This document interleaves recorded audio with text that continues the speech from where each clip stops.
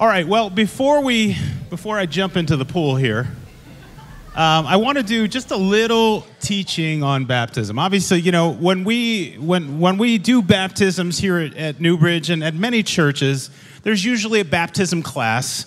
And really, the reason, one of the reasons why uh, we do that is just to make sure that everybody who is getting baptized understands what we are actually doing. That this is not uh, a means to salvation, that, that, that people are not getting saved here. They're already, they've already confessed that Jesus is Lord, and they're going to tell you and share with you the truth of their story from darkness into light. What was life before Jesus? and what is life like now because Jesus has saved them. Uh, it's, uh, we have six folks uh, this morning, super excited. Uh, they are publicly declaring uh, their faith and trust in Jesus Christ as Savior and Lord. And now, as I've done in the past, uh, before we kind of get into this, we just I just want to uh, just share with you a couple scriptures that refer to uh, what we're doing today. There's a whole lot of symbolism when it comes to obeying Jesus in baptism. Uh, in many ways, it's similar to communion to its symbolism. That's what we do every month to, to remember Christ's sacrifice for us on the cross. And there's nothing magical about this water right? There's no, there's no special potion. I have no magical powers. There's nothing magic about uh, this water. It's, it's, it's an act of obedience that we are witnessing today and the truth that it symbolizes in each one of these participants' life that make it powerful. Uh, so I'm reading through the book of Acts in my personal Bible study, and just this week, uh, a few days ago, I read the story uh, in Acts chapter 8 of the Ethiopian eunuch uh, who is uh, on the side of the road there. He's kind of parked in his chariot. He's gone to Jerusalem to see God, but he doesn't really know God yet. And so he goes there, and clearly he didn't find the answers that he was looking for in Jerusalem. And so he's, he's on his way back home, and an angel of the Lord uh, appears to the apostle Philip and is direct he directs philip to go over to this man in the, in the in the chariot and who's an important official and he hears this man reading from the scroll of isaiah from the prophet isaiah and so he kind of overhears it, and Philip asks the eunuch if he understands what he's reading. And the, the, the, official says, How can I understand unless someone explains it to me?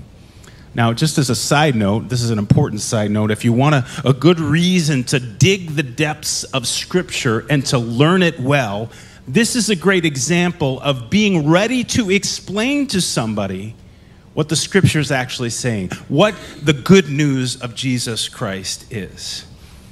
And so Philip does just that. He explain he tells this seeker of the truth the good news and the man believes right then and there. And right after that happens, he's baptized. It, I love this story. They're, they're, riding along the road. So clearly, Philip, I guess, has gotten into the chariot and said, Let's take a ride in your fancy chariot. And the eunuch sees some water and he says, Look, there is some water. What can stand in the way of me being baptized? So he's, he understands now the prophecy of Isaiah, which is all about Jesus. He believes in Jesus and he says, Look, there's some water. What's going to stop me from being baptized? You know, I was thinking this week, I accepted Jesus at a very young age. I wasn't baptized right away. And I remember as I grew into my teenage years, I was like ready to do it for years. And uh, I was told I wasn't ready. And when you read a story like this, you see that there was no it's not i'm not, not nothing against baptism classes. We want to, we want people to understand what they're doing right? But but here is the process.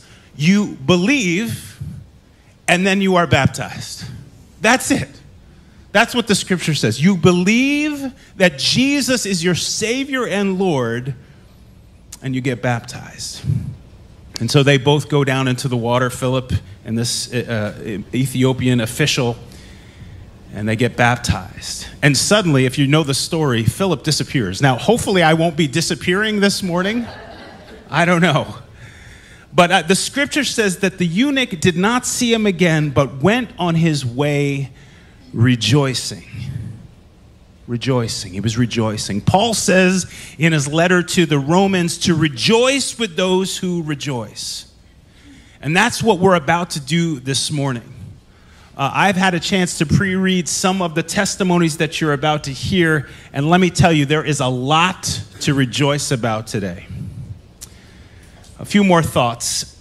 One of the things that baptism, baptism symbolizes is that we are cleansed and made pure by Jesus. Uh, Abby picked the songs this week, and all of those songs were talking about us moving from death into life.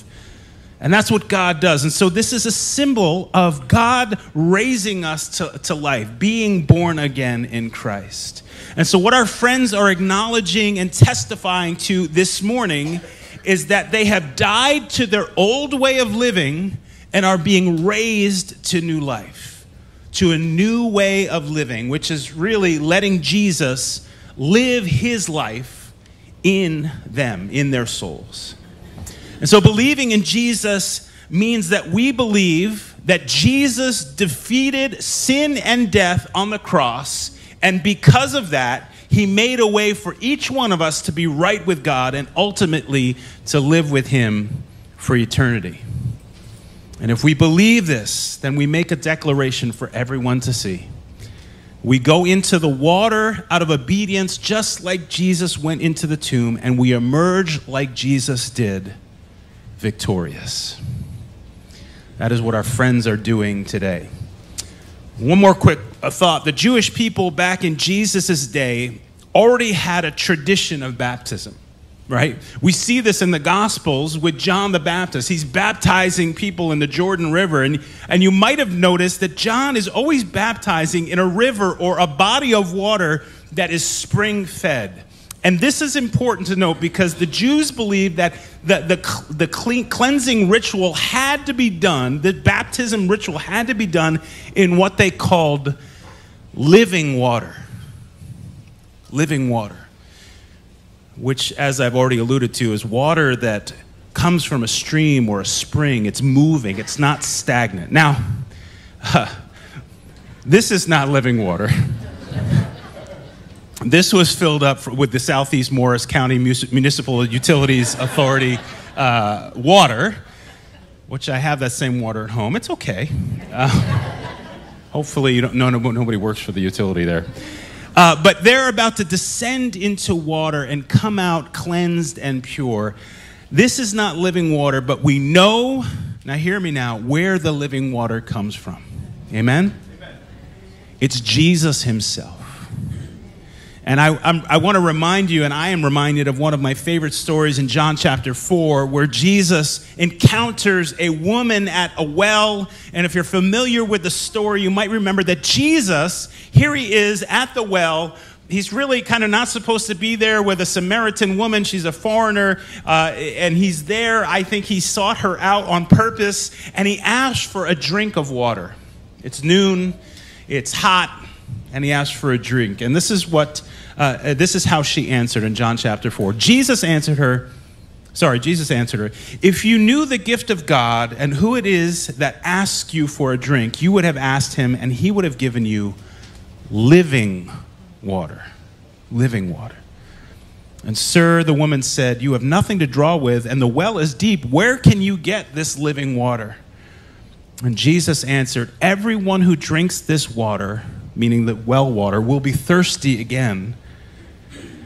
But whoever drinks the water I give them will never thirst. Indeed, the water I give, give them will become in them a spring of water welling up to eternal life. And she responds, Sir, give me this water. Give me this water.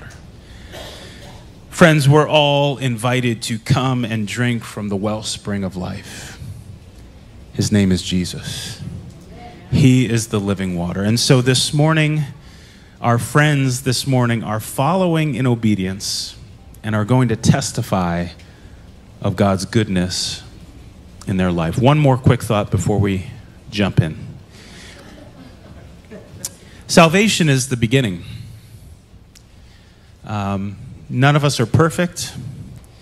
And when we confess uh, belief and acceptance and receive Jesus as Lord and Savior, that begins a process that we call sanctification. And sanctification, it's a fancy word, but simply it's becoming more like Christ.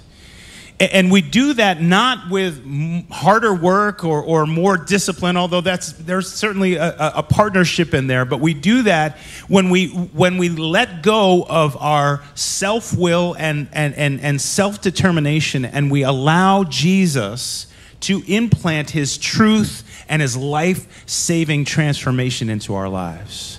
It's a process that will that starts at salvation and it will be going on until you and me take our last breath. So we're all on the road walking towards Jesus, becoming more like him. There's no magic here, but there is power in the living water.